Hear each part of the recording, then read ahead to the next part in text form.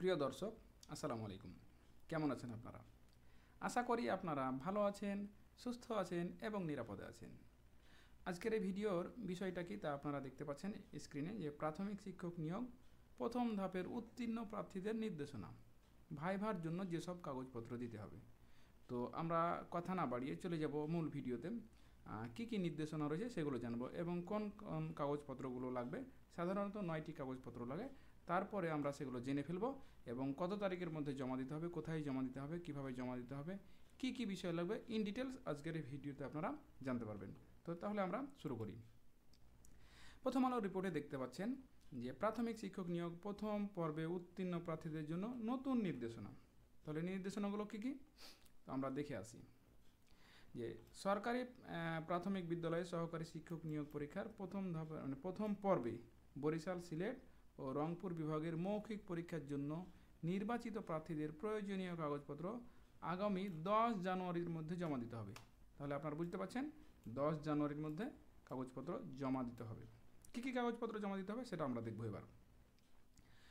প্রাথমিক শিক্ষা অধিদপ্তরের ওয়েবসাইটে ওয়েবসাইটে দেওয়া এক বিজ্ঞপ্তিতে এ তথ্য জানানো হয়েছে। কি বলা হয়েছে সেখানে? বিজ্ঞপ্তিতে বলা হয়েছে, প্রার্থীদের দশ জানুয়ারির মধ্যে নিজ নিজ জেলা প্রাথমিক শিক্ষা অফিসে আবশ্যিকভাবে প্রয়োজনীয় কাগজপত্র জমা দিয়ে প্রাপ্তি স্বীকারপত্র সংগ্রহ করতে হবে। অর্থাৎ অ্যাকনলেজমেন্ট আপনাকে নিতে হবে যে আপনি কাগজপত্র জমা দিয়েছেন এই। আর ওই কাগজটা মানে অ্যাকনলেজমেন্টটা আপনার ভবিষ্যতে কাজে লাগতে পারে। তো চলুন তারপরে আর কি বলা হয়েছে। বিজ্ঞপ্তিতে আরও বলা হয়েছে, মৌখিক পরীক্ষার জন্য নির্বাচিত প্রার্থীদের অনলাইনে আবেদনের আপলোড করা ছবি। মানে আপনি যখন আবেদন করেছিলেন, যে ছবিটি আপলোড করেছিলেন, ঠিক সেই ছবিটি আপনাকে জমা দিতে হবে। আবেদনের কপি মানে আপনার যে অ্যাপ্লিকেন্ট কপি, আবেদন করার সময় যে কপিটা ছিল, পেইড কপিটা আপনি দিবেন। একটা আনপেইড আছে, একটা পেইড পেইড কপিটা দিবেন পরবর্তীতে। আর যদি আপনার কাছে না থাকে, আপনি আবার ডাউনলোড করে নিতে পারবেন ইউজার আইডি এবং পাসওয়ার্ড দিয়ে। এরপর কি লাগবে? লিখিত পরীক্ষার প্রবেশপত্র লাগবে মানে আপনার অ্যাডমিট কার্ড লাগবে। তারপরে কি? নাগরিকত্ব লাগবে। মানে নাগরিকত্ব সনদ পৌরসভা অথবা ইউনিয়ন পরিষদ থেকে চেয়ারম্যান কর্তৃক যে নাগরিকত্ব দেওয়া হয় সেটা। তারপর কি লাগবে? স্থায়ী ঠিকানার সপক্ষে স্থানীয় ইউনিয়ন পরিষদের চেয়ারম্যান, পৌরসভা আচ্ছা এখানে একটা কথা হলো, এই নাগরিকত্ব ও স্থায়ী ঠিকানা যেটা দেওয়া আছে একই জিনিস। এই জিনিসটা আপনাকে লাগবে। এবং যদি সিটি কর্পোরেশন হয়, তাহলে কাউন্সিলের সনদ। অর্থাৎ নাগরিকত্ব সনদ এবং স্থায়ী ঠিকানার সপক্ষে ইউনিয়ন পরিষদের চেয়ারম্যানের যেটা সনদ, একই সনদ, আর দরকার নাই, একটা দিলেই হয়ে যাবে।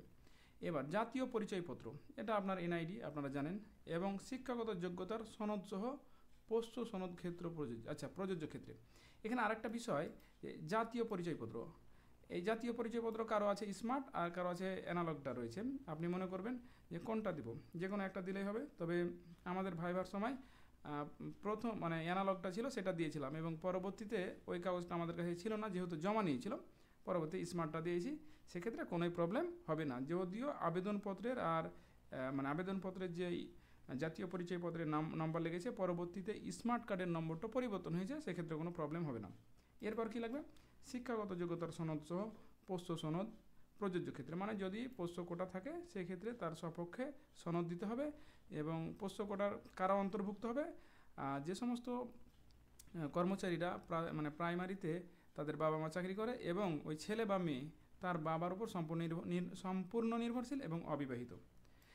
এবার আমরা সেটা অন্য ভিডিওতে দেখব। আর যদি না বুঝতে পারেন কমেন্ট করবেন, আমি উত্তর দেবো ইনশাল্লাহ অন্যান্য প্রয়োজনীয় কাগজপত্র ন্যূনতম নবম গ্রেডের গেজেটেড কর্মকর্তার কাছে সত্যায়িত করে নিতে হবে। আর দশ জানুয়ারির মধ্যে নিজ জেলা প্রাথমিক শিক্ষা অফিসে আবশ্যিকভাবে জমা দিতে হবে। কারণ আপনি জমা না দিলে আপনার জন্য মানে ভাই ভাই ইস্যু করা হবে না, অর্থাৎ যে অ্যাডমিট আর একটা দেওয়া হবে, সেটা আর ইস্যু করা হবে না। এবার কি বলা হচ্ছে? জেলা প্রাথমিক শিক্ষা অফিসে সব সনদ জমা দিয়ে প্রাপ্তি স্বীকারপত্র সংগ্রহ করে নিতে হবে। এটা একটু আগেই বলেছি।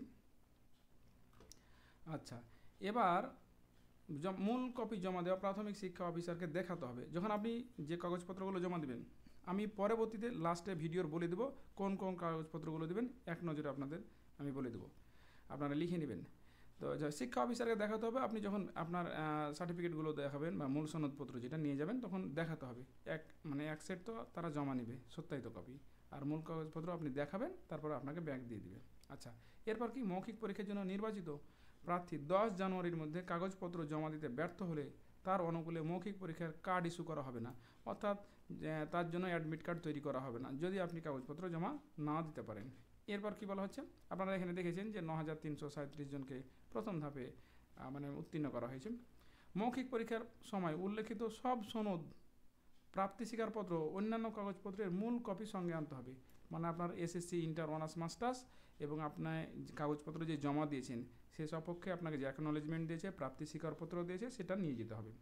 মৌখিক পরীক্ষার তারিখ পরিব- পরবর্তীতে মানে পরবর্তী সময়ে জানানো হবে এবং তা প্রাথমিক শিক্ষা অধিদপ্তরের ওয়েবসাইটে প্রকাশ করা হবে। আপনারা জানেন ডিপিই এই ওয়েবসাইটে আপনারা যাবেন, ডিপিই লিখে গুগলে সার্চ মারবেন, তাহলে আপনারা পেয়ে যাবেন কখন দেবে। আর তাছাড়া আমরা আপনাদের ভিডিওর মাধ্যমে জানিয়ে দেবো।